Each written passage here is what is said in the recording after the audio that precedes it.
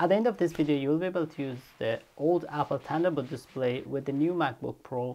I have an M1 MacBook Pro here and I'm going to use it with the Apple Thunderbolt display. As you know, Apple Thunderbolt display has a Thunderbolt cable and we don't have any more these cables supported with the new MacBook Pros.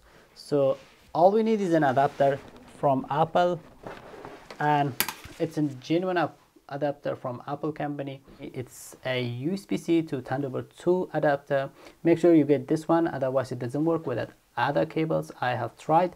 So once you get this cable, all you need is plug in the uh, Thunderbolt display cable to this adapter. As you see, this is done. So we don't need to use the power cable, which also this one doesn't fit the new MacBook Pro, so we don't need it and we leave it aside.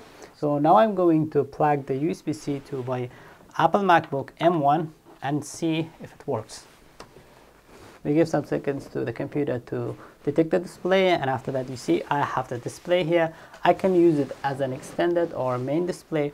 As you see I can, I can move my mouse around and open apps here also and move it to this display also my recommendation at the end of this video is instead of getting a new monitor from other companies for your MacBook, just get a Thunderbolt display in a good price that you can get from Marketplace or sometimes in eBay, which has a pretty good color and very good resolution. It's a 2K resolution, pretty much enough for most of the work. So yeah, if you have a MacBook Pro, I'll definitely encourage you to get a Thunderbolt display and use it with your MacBook Pro.